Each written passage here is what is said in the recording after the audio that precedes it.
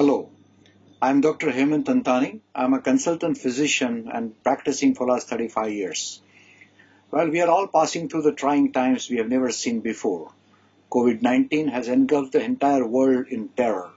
And it is imperative as a medical personnel to let you know the right information, the professional information, everything that you should know about COVID-19.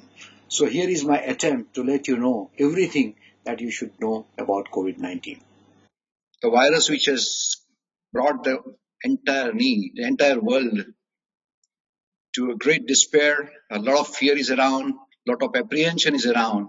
And we thought that this is the right time that we should give the scientific knowledge on COVID-19 so that it will help us to harness this dangerous virus and make us everybody safe.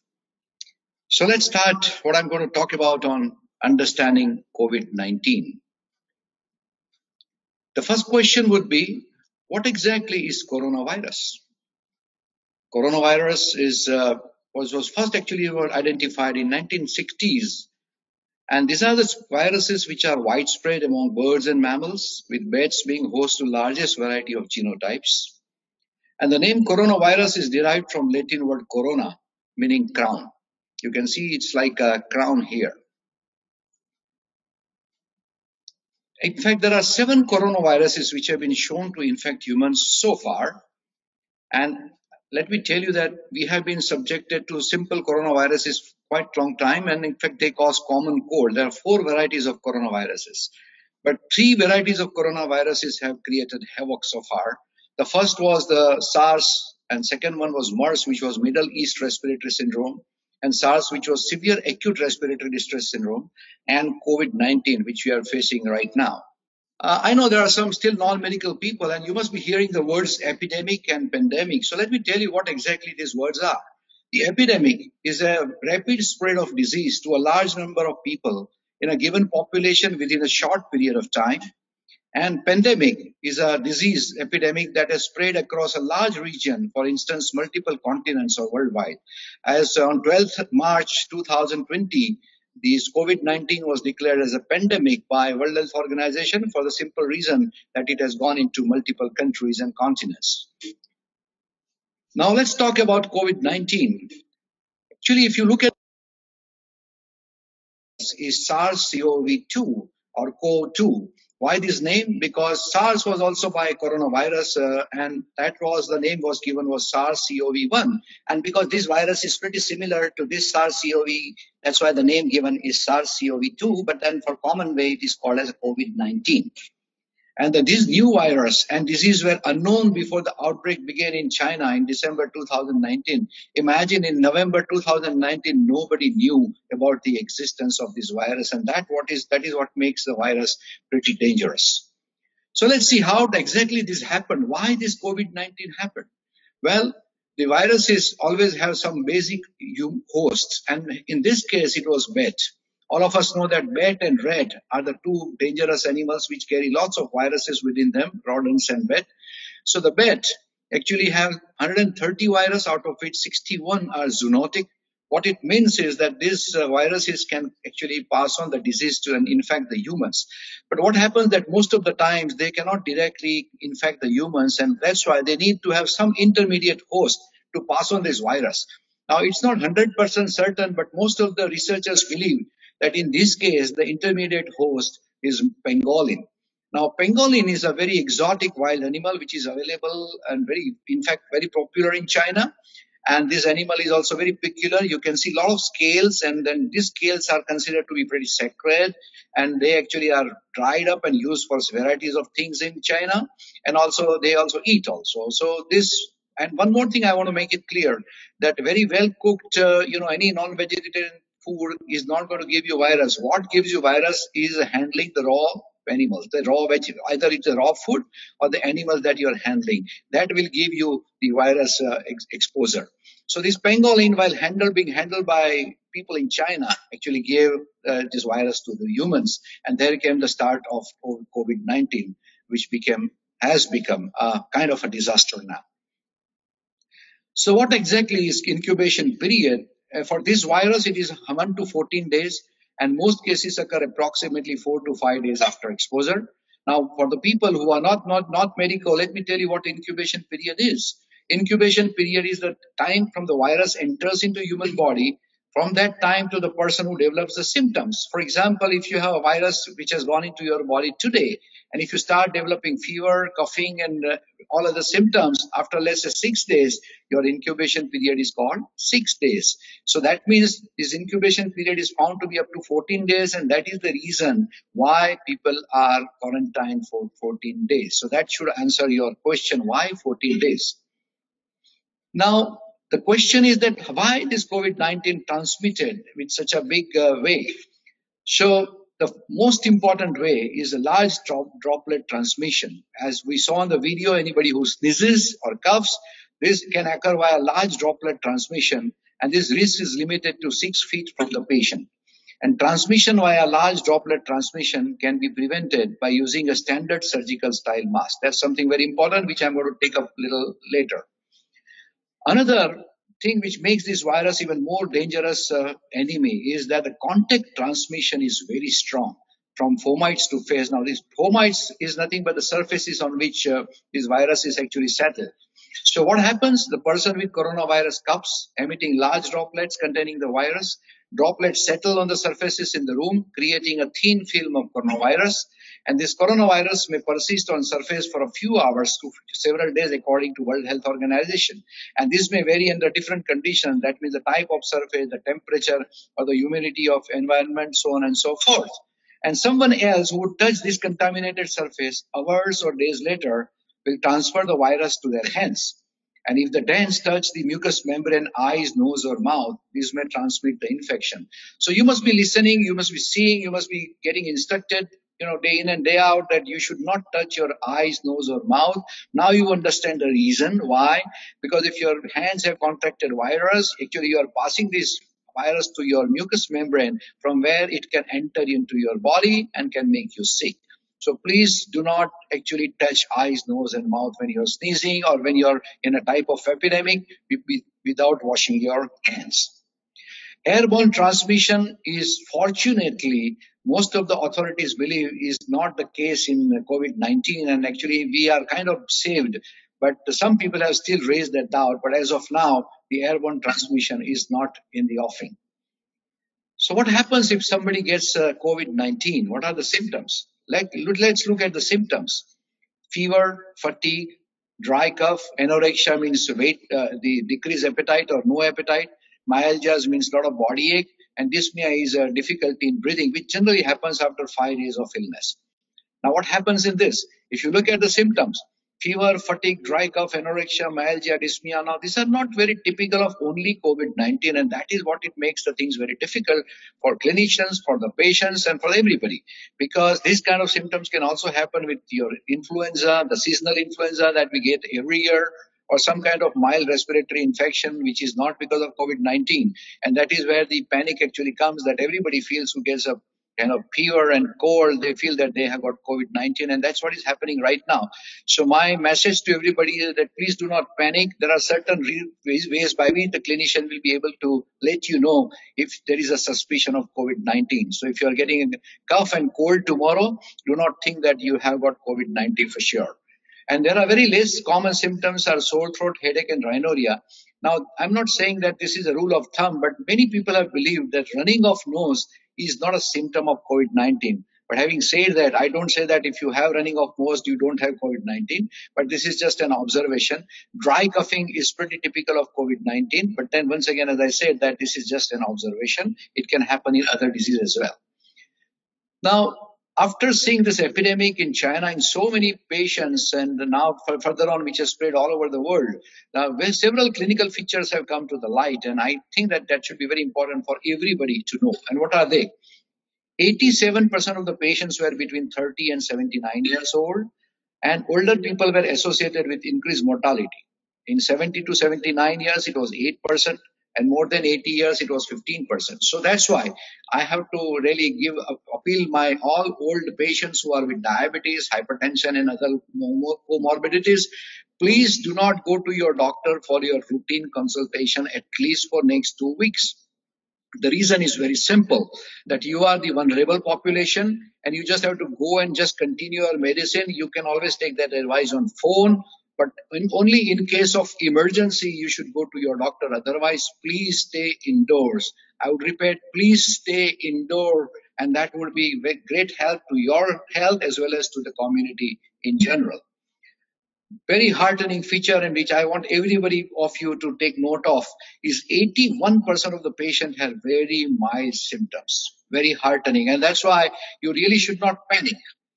14% had severe disease, 5% had critical disease. And the recovery time, according to World Health Organization, is around two weeks for the mild infected people and three to six weeks after the severe disease. So that makes it very clear now, next question is that, well, how do I know that I have got COVID-19? Okay, so how, here we go. Now, the blood feature, just like clinical feature, there are no features which are very typical of COVID-19, but some of the observations are seen. If you see the first one, if you do the blood count and those who are, you know, non-medical, you must have seen whenever you had your blood test eh, in your CBC, you will find there's something called as lymphocytes. Now, COVID-19, it is found that there is a tremendous decrease in the count of lymphocytes, which is called as lymphopenia.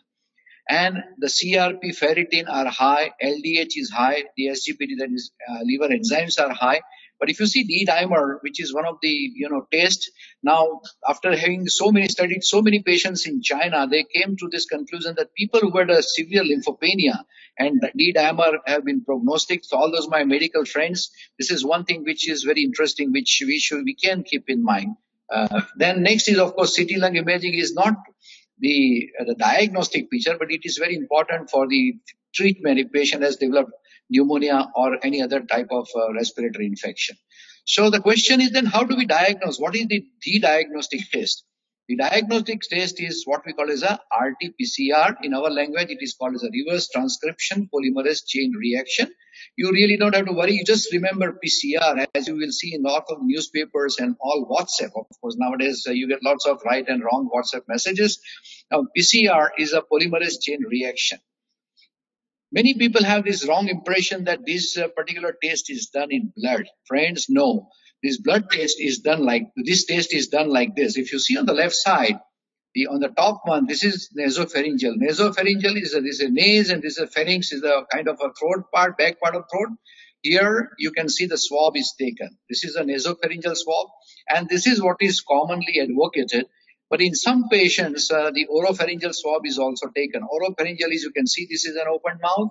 You can see near the tonsil. You can, you take a swab from here and then you see on the right side, these are the two test tubes in which these swabs are kept. And this is actually sent to the virology laboratory. Now, for those who want to know, the, the virology laboratory in uh, Gujarat right now are in uh, Ahmedabad and uh, Jamnagar, the medical colleges. But uh, having sensed the urgency and the need to test more and more people. I must appreciate the effort of the government, which has been really very, very proactive and dynamic. And they are also now, perhaps as per the news of uh, which I read in Times of India today, uh, they are thinking, or maybe they already are giving permission to the private lab because we need more and more people to be tested, and I'll take that later on. So you understand that PCR is the definitive diagnostic test, and that does not mean that everybody who's got a cough and cold should do this.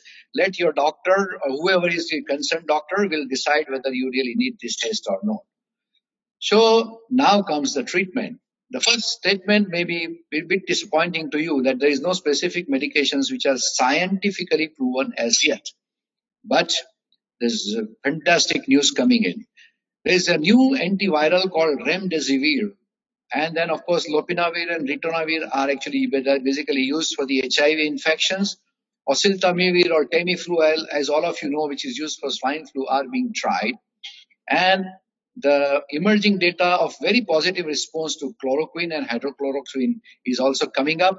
And tocilizumab is also drug, drug which is used in uh, autoimmune disease. At this juncture, I really want to pause for, for a while because I see lots of messages coming in WhatsApp about chloroquine and hydroxychloroquine.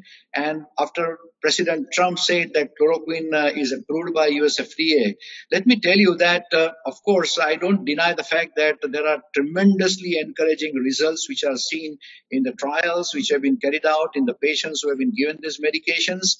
Uh, it has also come in few of the medical reputed journals, but US FDA has already given the statement that any drug to be called as a definitive curative medicine, you just can't just go by emotions. You have to do the scientific test and a lot of things have to be done before they are actually declared as a definitive curative test. But as it is said that it is emotionally indicated in the patients uh, of, uh, you know, the COVID-19. But I can tell you that uh, with the data that we have, especially this three, remdesivir, chloroquine, and the hydroxychloroquine, it looks like that uh, we are in for a good time as far as the treatment is concerned. But at this juncture, I would like to say that these are the drugs which are extremely promising. Not only promising, the results are coming in which are thick and fast and are very good. But today, you cannot say 100% officially that these are the curative ones. One more thing which I want to clarify here is that we are getting lots of questions and messages uh, that uh, chloroquine being used as a prophylaxis. That means you take chloroquine every week and you will be prevented to get, uh, you know, this COVID-19. Now, I tell you, this is more anecdotal than scientific because there is no data as to prove this. So, you know, it's all your discretion the medical science as of now cannot really give you the guideline that you take chloroquine and you will be prevented uh, from getting corona. So, you know, at, at, the moment, let's consider that more as a, an anecdotal. So we'll have to wait for longer follow-up and more scientific clinical studies to declare these agents as curative drugs for COVID-19. But as a doctor, let me tell you, as a patient, you also should understand that these three drugs have really given us a lot of big ray of hope. And I think we shall not be disappointed. So most important thing is that that of course day, day in and day out you are saying this and it would be still worth repeating, but I'll give you some of the scientific reasons why you should do this. So how, how would you protect? You should regularly and thoroughly clean your hands with 60% alcohol based hand rub or wash them with soap and water. 20 seconds. I repeat, 20 seconds and I tell you it's a long time. And Many times people don't wash hands properly. They just only wash hands the palmar side or only the palms. They don't actually go into the back side of their hand. So you have to hand wash thoroughly from all the sides and for 20 long seconds. Uh, soap is any day better than 60% alcohol based hand rub, but if it is not available, you can always use that. And why you should do that because washing your hands with soap and water or using alcohol based hand rub kills the viruses that may be on your hands. Maintain at least three feet distance between yourself and anyone who is coughing or sneezing. Because when someone coughs or sneezes, they spray small liquid droplets from their nose or mouth, which may contain virus. If you are too close, you can breathe in the droplets, including the COVID-19 virus, if the person coughing has the disease. As I said before, avoid touching eyes, nose, and mouth. And I gave you the reason that hands touch many surfaces and can pick up viruses. Once contaminated, hands can transfer the virus to your eyes, nose, or mouth. And from there, the virus can enter your body and can make you sick. Make sure you and the people around you follow good respiratory hygiene. This means covering your mouth and nose with your elbow or tissue when you cough or sneeze. Then dispose of the used tissue immediately. Please, please, please, this is the most important thing. And this is the respiratory hygiene we need to inculcate not only during times of corona, but in general. Anybody who is coughing, anybody who is having, who is sneezing must use the mask. If not mask, then they should cover their face you know, either with a handkerchief or tissue. And if nothing is available, use your elbow, but not your hands for the reasons already explained. Because droplets spread virus and by following good respiratory hygiene, you protect the people around you from the viruses such as cold flu. So actually, basically, you know, you have to make sure that you don't spread this. Most important thing, please stay home if you feel unwell. If you have a fever, cough, difficulty in breathing, seek medical attention and call in advance and follow the directions of your local health authority. Very important. Please do not go by what, what WhatsApp says. Please do not go by what the non-scientific information guides you. Please only go by what is scientific, what comes from the official health authority. And national and local authorities will have the most up-to-date information on the situation in your area. Calling in advance will allow your healthcare provider to quickly direct you to the right health facility. And this will also protect you and help prevent spread of viruses and other infection. Very, very important. Keep up to date on the latest COVID-19 hotspots, cities or local areas where COVID-19 is spreading widely. Very, very important. And if possible, avoid traveling to these places, especially if you are an older person or have diabetes, heart or lung disease. I said this before please, please, please avoid unnecessary travel during this time. It really is not called for. It is not only unsafe for you, but it is also unsafe for the community in general because this will help in having a community spread, which India definitely cannot afford. You have a higher chance of catching COVID-19 if you have got a diabetes, heart or lung disease, and if you're an older person. So as I said, please stay indoor. All my old you know, people, elderly people who have got this disease, I urge you to stay indoor. Don't go out at least for next two weeks, and that will definitely protect you. Then, are you at risk of getting COVID-19? Well, see, who is at the risk of getting COVID-19? Obviously, the first one. You do not take precautions as mentioned. There are some people who have this feeling that, you know, all these things are useless and nonsense. I am never going to get corona. Please do not remain under this wrong illusion. You must take the precautions as mentioned, as directed by World Health Organization, the local authorities, and you undertake unnecessary travel. That is something which should be totally avoided your immunity if it is low like you're diabetic and has a blood pressure the pregnant ladies the patients who are on immunosuppressive drugs patients who have got malignancies patients who are on chemotherapy patients who are on long-term steroids are the people who their immunity is very low they should be doubly careful during this time. And i would strongly request that please stay indoor totally for at least two weeks. The community you live in does not adhere to official guidelines.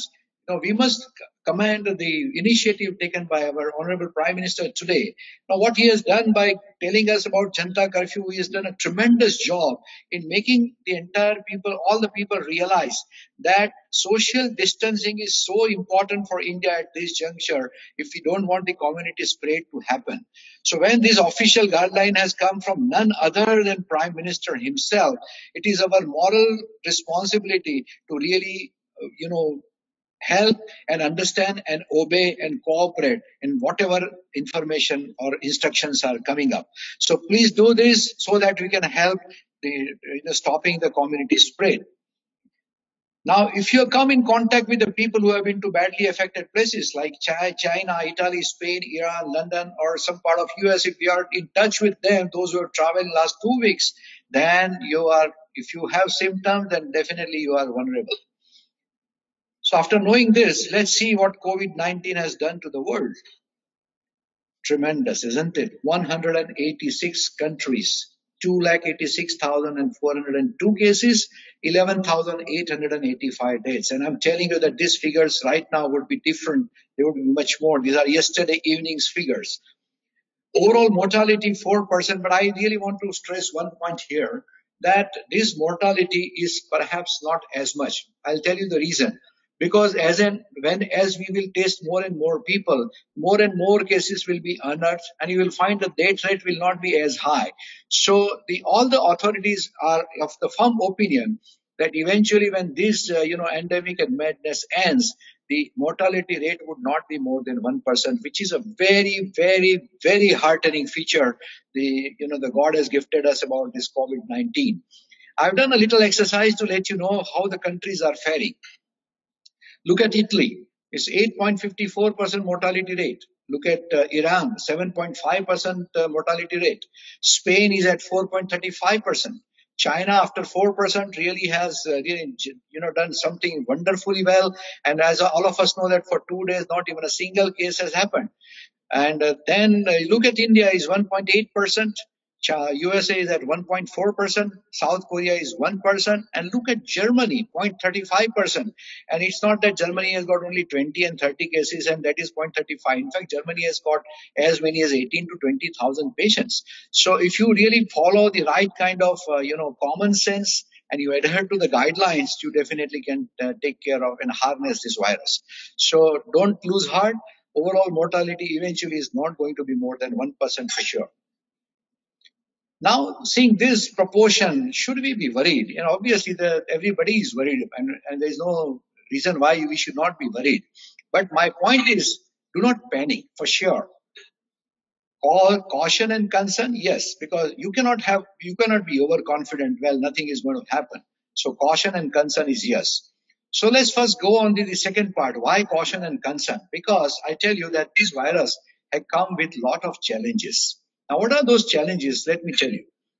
This is spreading very rapidly all over the globe and it has affected economy badly. The reason why this is spreading is the, the way it actually, it, you know, transfers. It transmits as we already saw before especially the fomite transmission is also very strong and uh, you know powerful way it is transmitted the virus is new in fact i told you that november 2019 the medical fraternity was totally unknown of this virus and some of you are non-medical would say why this is happening this is happening because the virus is also mutated viruses also are very smart if they feel that the human beings are able to you know have a victory over them they mutate and create a new form of virus which is not known to us and they call havoc so we still have learned a lot about this virus, which will take some time. And a possible mutation virus cannot be ruled out. And once again, I really don't want to scare you, but this possibility always stays with any viral outbreak. That that possible mutation of virus can make it even more difficult to you know harness. Next, our challenge is it is not so easy to make vaccine against COVID-19 very fast. Safety, efficacy have to be ascertained and hence will take some time. I tell you that, you know, it's very important that uh, whenever you make a vaccine, that vaccine should not make the person sick. And that's why you have to do lots of trials. You have to have the volunteers, healthy volunteers to do this. Uh, President Trump said that vaccine would be available in no time, and that actually, you know, everybody was joyous. But honestly speaking, USFDA has also also given the statement that as of now, it will take even World Health Organization also given statement that it will take one year minimum. But if you can come out with this vaccine in one year, I tell you, it's a big, big achievement. And I am telling you that it is, it will happen for sure. We are going to get vaccine in one year's time. But right now, vaccine is not, is not possible at all to create. As of now, uh, medicine we have already discussed, and now there are lots of, as I said, the rays of hope, the chloroquine and hydroxychloroquine and remdesivir the virulence and transmission will shift over the times. Now we cannot predict because the virulence and transmission might change, might change. I'm saying might change. So that is the unpredictability that we are charting on. And the problem is that most cases are either asymptomatic, subsymptomatic, undiagnosed, and transmitted before the onset of symptoms. If you understand this statement and this sentence, you know, this makes it, this virus extremely challenging. I'll explain you this one. For example, somebody who has got a you know COVID-19 virus in him. What will happen? The patient or person has not still developed the symptoms. That means he is called as asymptomatic, but is infective. He still can shed virus and through, through fomites, he can actually infect other people. So how do you find these patients? And this is the challenge the world is having. And this is the reason why this virus is spreading like a wildfire. And that is the reason why social distancing is becoming so, so, so important. This is the most important question. The doctors are asking, the society is asking, the patients are asking, the virologists are asking that can we do better with this virus, which has a longer incubation period, but with as yet undetermined ratio of inapparent cases to apparent cases. I'll repeat, inapparent cases to apparent cases not known and unknown rate of asymptomatic spread, the biggest, biggest challenge that medical fraternity has. And the answer to this question is so critical because without the ability to prevent such spread, we will cross a threshold where pandemic prevention becomes impossible. So, but don't lose heart every scientist, every virologist, everybody in the world is right now 24 7 working on this virus. And I'm telling you that eventually we are going to harness and a cause of victory over this virus. But as I said, do not panic. A certain no to panic, friends, because of the reason that let me tell you, and I've got reasons to say why you should not panic. First, Virus is contagious, yes, because of the transmission mode, but it's not deadly. 1% uh, mortality is very, very less compared to the viruses that we have faced so far in the history of the world. So don't be disheartened because that is something which you should keep in your mind. Most important thing, 80% of the affected persons develop only very mild symptoms. Heartening, isn't it? 80% of affected persons develop only very mild symptoms. Only a little bit of cold, little bit of cough, little bit of myalgia, nothing beyond that. Mortality rate, I said, is very low as compared to the other epidemics. Proper personal care and I'm using the word common sense approach. If your prime minister says social distancing and you say, oh, who cares? Well, that's not a common sense approach. The proper personal care and common sense approach can definitely keep you away from getting infected. So please, please follow the local health guidelines and cooperate. Remdesivir, chloroquine and hydroxychloroquine have shown extremely promising results the papers are pouring in. The medical community is really getting excited. Although we right now cannot say that these drugs can be declared as a positive curative, but I'm telling you that these drugs have shown so much of hope that I am 100% certain that within short time we would be curing COVID-19 with these drugs. Now, at this juncture, it would be very interesting to see that how the world has faced coronaviruses. Then let me talk about the three. The first was SARS, and all of us know that it happened in 2003, and they, almost uh, 8,100 people died. The page, uh, I'm sorry, 8,100 people were infected. Number is slow, low, but look at the mortality. Almost 10% of the people died. In MERS, which happened in Saudi Arabia, which started because of the camels, the bear gave it to camels and camels gave it to humans, was in 2012 and it was almost 2500 cases cases number less. But look at the mortality almost 34% people died. The virus was so strong.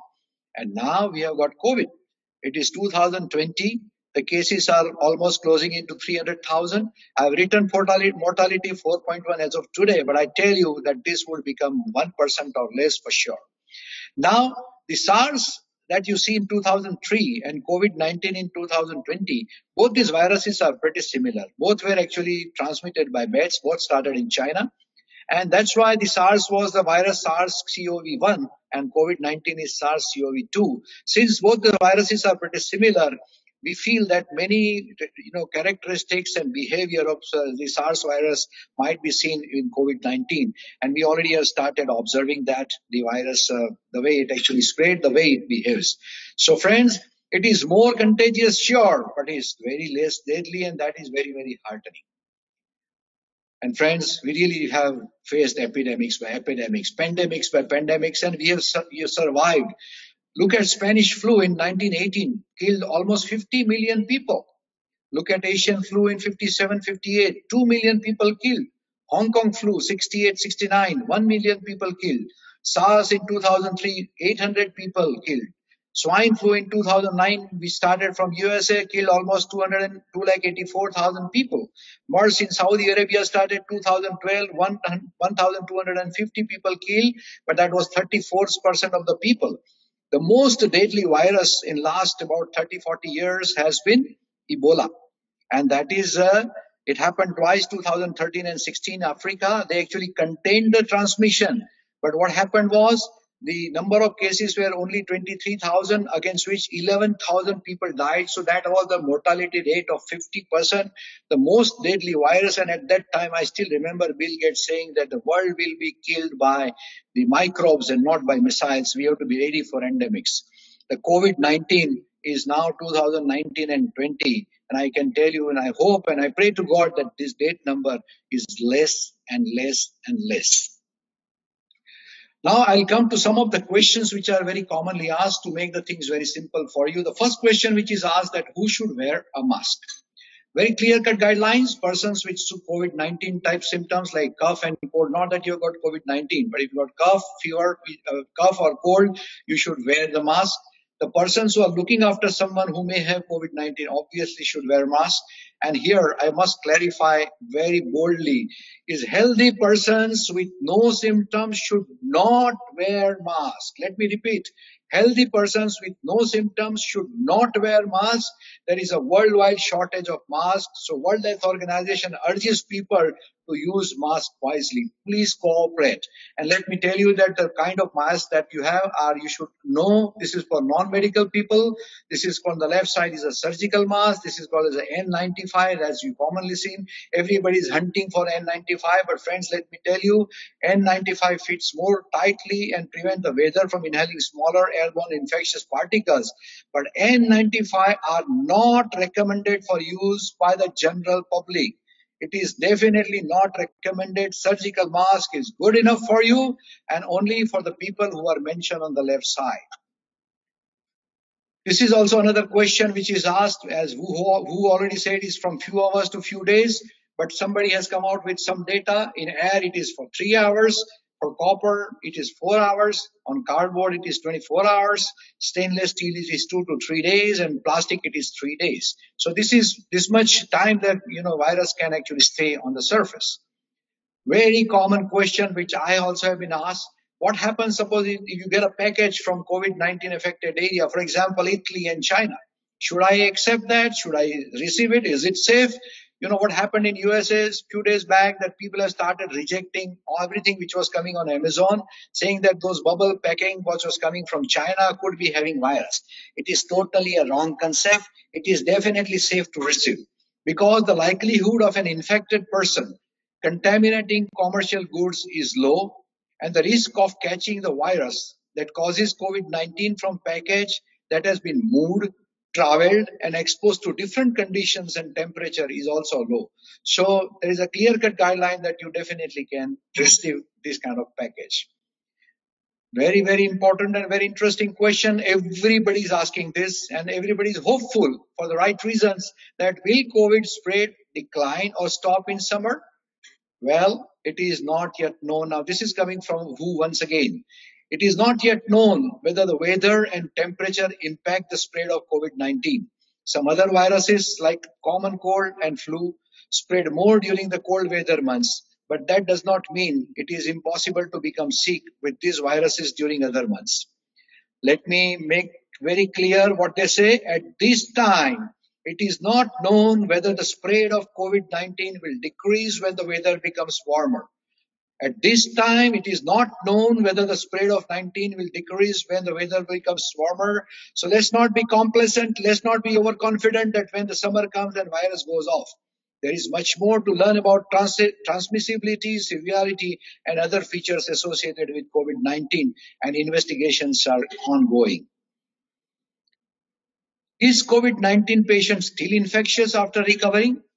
Probably to some extent, though the first batch of studies are far from conclusive. It is said that the traces of the virus could persist in the body for up to two weeks after the symptoms had vanished. And for the patients who had critical disease, it can be up to 24 days. Can a person catch cold, uh, catch COVID-19 second time? That means reinfection. Very important question. The Centers for Disease Control, that is CDC, stress that our immune response to this particular disease is not clearly understood. It everything depends upon the immunity, the type of antibodies, the amount of antibodies that you actually generate, and how long these antibodies are going to give us the protection against reinfection. The patients with MERS obviously were not reinfected, and we are not sure whether the similar thing will happen with COVID-19.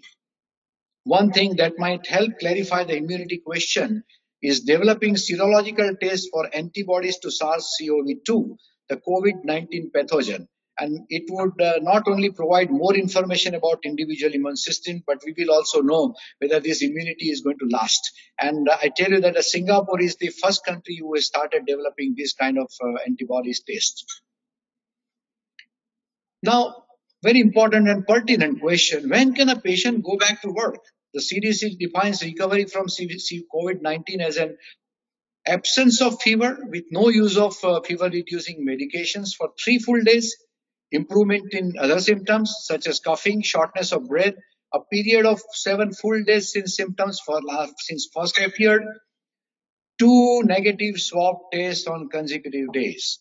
two negative swab tests on consecutive days are considered as the all clear, meaning self isolation can end and put a patient can theoretically begin having contact with others, including at work.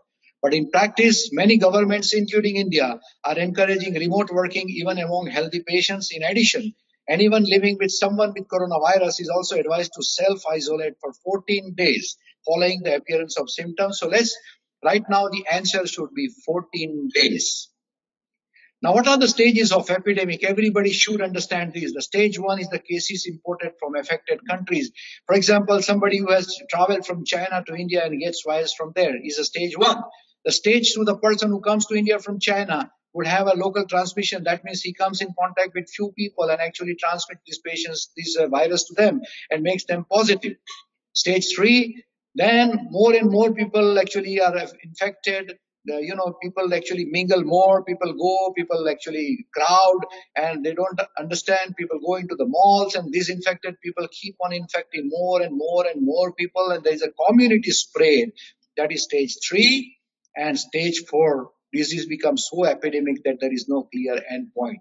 Friends, we are at stage two right now, and we are at a very, very, very critical stage. This, this Janta curfew is nothing but to make people understand that if we don't want to go from stage two to stage three, this is the time everybody is to we have to behave. Everybody has to make sure that we follow the instruction. Everybody make sure that we don't go out if it is not necessary because we don't want to go from stage two to stage three. God forbidden if we go from stage to stage three, India is going to be in a very catastrophic condition. So it's all in our hands. Only government cannot do everything. We have to support the government's efforts to make sure that we do not pass on from stage two to stage three. Everything is in our hands. This is the average number of people that affect infected person transmits virus 2. If it is less than R, is less than one, epidemic will burn out. And that's what we are aiming at. If it is one, epidemic will continue. If it is more than one, epidemic will increase exponentially. Current estimate is about 2.5. We just can't afford this because it will go exponentially high. Because what is R? R is nothing a reflection of both the virus and also human behavior. I think that's most important. Human behavior is going to decide, our behavior is going to decide, our attitude is going to decide whether we will go in from stage two to stage three. Interventions such as social distancing and improved hygiene will decrease. Now let's, there are two examples which will prove the point. The first example, the control of spread of COVID-19 in China proves that R is a modifiable number. It is a modifiable number that can be reduced by effective public health intervention. Imagine China, which was so catastrophically devastated by COVID-19, has no, no patients with virus for last two days. It's a fantastic public health intervention and we must applaud that. The, all of us know the Diamond Princess cruise ship, which is still harbored in, in Japan, uh, outside Japan. They were the people who were all corona or COVID-19 infected people. And that actually clearly illustrates that in a cramped quarter with inadequate hygiene will definitely increase the spread. And that precisely what Janta Curfew is talking to you. Please do not mingle. Please do the social distancing as much as possible, at least for next two to three weeks. And that is going to be very, very crucial for the entire country. Our challenge is this. I tell you that we have to test more and more people. Everybody understands this. If you look at this data, you know, this is the number of tests which are done per million people. US is doing only five tests, which is very surprising. The most powerful country, most affluent country in the world ends up doing only five tests per million. As against that, look at South Korea is an example to everybody, almost 4,000 tests per million people. China doing 3,000 tests per million people. And uh, India is doing at the moment one test per million people. And this is our challenge that we somehow have to test more and more people because there are asymptomatic people. There are very, very mildly symptomatic people who have to be unearthed to prevent the community spread. If you look at the number, which is just yesterday's slide, the 20th March, India has actually tested 14,514 people as against almost 3 lakh 20,000 patients by other countries. So this is where the, our challenge lies. Government obviously is taking a lot of efforts and putting more and more laboratories. And as I understand, the Times of India said that uh, they are now going to allow the private laboratories to do this testing. If we can test more and more people, if we can unearth more and more people, although they are asymptomatic, they are less infected, but they should be isolated and this community spread can be prevented. And this is the biggest challenge that we have at the moment. And those who are the students of mathematics here would be much better than me. If you see both the curves, the area under curve is same for both. But if you look at the right curve, it's a flat curve. So this is an exponential rise in the number of patients which we can't afford. If it happens this way, then gradually we will be able to take our harness and victory over virus. So I always believe that it is going to be our wits against corona's genes.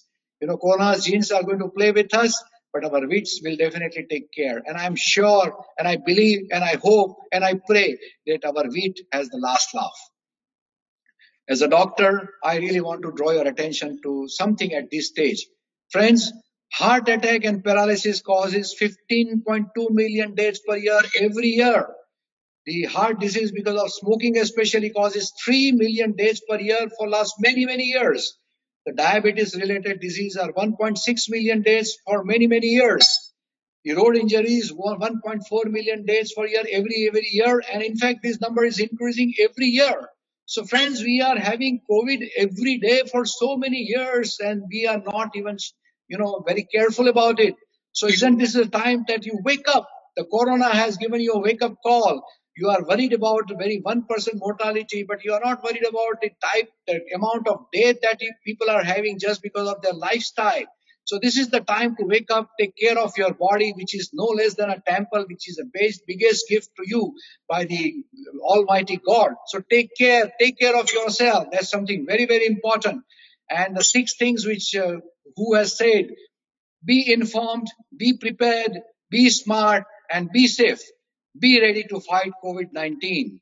Be supportive, be careful, be alert, and be kind. Be ready to fight COVID-19. I would urge, if at all you want to go online, if you want to have want to have any information, please go only on official websites, either of the local health authorities, government health authorities, or go onto this particular website, which is a World Health Organization, don't believe what WhatsApp tells you. Don't believe that alcohol will do this. Don't believe garlic will do this, so on and so forth. Just be with the scientific information. Shun off all the fake news. Don't even forward them. Social distancing is something very important. And I feel that we have met the enemy and it is us. Let's not we become enemy of ourselves. Make sure that we keep ourselves safe. We keep the community safe by right kind of social behavior, by right type of common sense. And let me end my this talk by our Sanskrit famous, and this is what the Hindu culture is all about. Sarve bhavantu sukhinaha, may all be happy. Sarve santu niramaya, may everybody be healthy. Sarve bhadrani paschantu, may everybody see the spiritually uplifting. Ma kaschid bhag bhavet, may nobody suffer. Om Shanti Shanti Shanti. May God give us power. May God give us wisdom. May God give us common sense to fight this virus and make sure that not only we stay safe, but the community stays safe. I'm extremely thankful to all of you for your patient listening, and I hope and I believe that I have really added to your knowledge, which would definitely help you to fight this virus, fight this calamity with the scientific knowledge that you have gained today. Thank you very much once again.